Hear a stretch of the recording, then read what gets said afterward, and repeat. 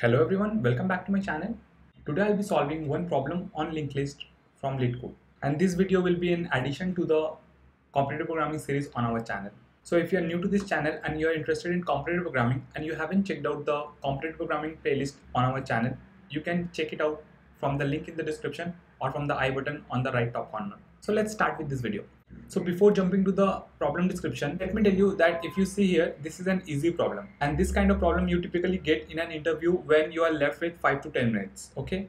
So the idea here is to understand that you might get this kind of tricky question in your interview and you should be prepared for this. The more you practice, you will be able to get it right in your interview in a very short time. So here it is given, write a function to delete a node in a singly linked list. You will not be given the access to the head of the list. Instead, you will be given the access to the node to be deleted directly. It is guaranteed that the code to be deleted is not a tail node in the list. So let's try to understand this problem description through the example. So let's say you are given this linked list 4519 okay? And in this given linked list the given node which needs to be deleted is the node with value 5 right? So after deleting 5 your linked list will have 4 1 and 9 right? So the only trick here is that it's a singly linked list and you are not given the access to the head. That means the only thing you have is the reference to this node which needs to be deleted.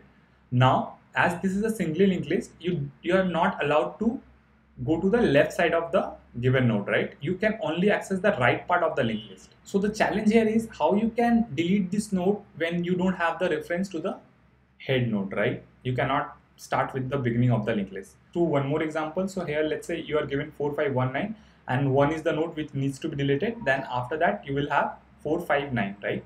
So I hope this is clear. Let's uh, check the constraint.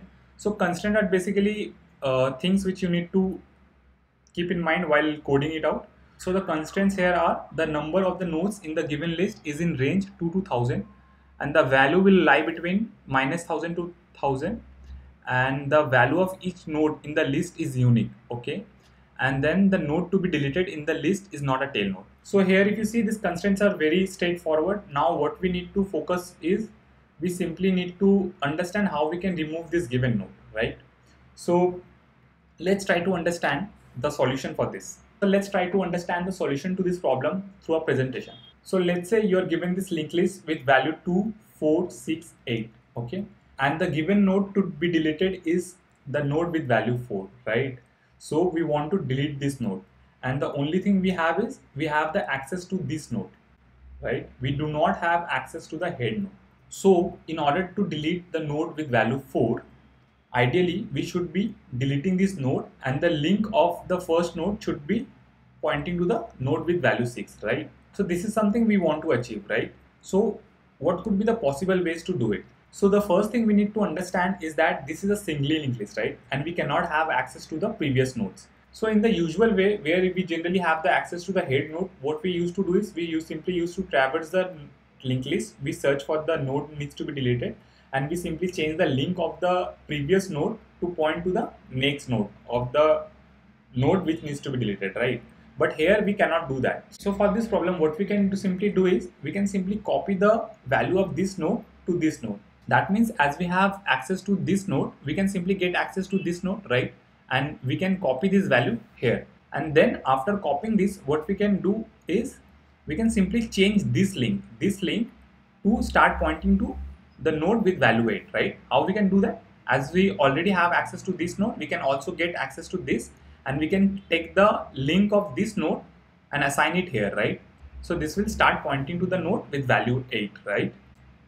So now when you traverse this linked list, you will have 2, 6, 8, which is what we wanted, right? So here if you notice, actually we have not deleted the node. We have simply changed the value and the link of this node, right? And and if you see this will become redundant right? So this is of no use now. Now if you traverse your linked list this is 2 6 and 8 which is your expected output right? So this is one of the tricky problem you can get in an interview. So now you must be thinking how you can think of such solutions right? So the idea here is that you can get such intuitions in an interview only when you have a good hands-on practice on this topic. So for example, for now, it is a linked list, right? If you have done enough practice on different problems of linked list, you will simply get this intuition in an interview. So this is not tough, but this is tricky, right? So now we'll see the code for this. Okay. So I'll go to the LeetCode website.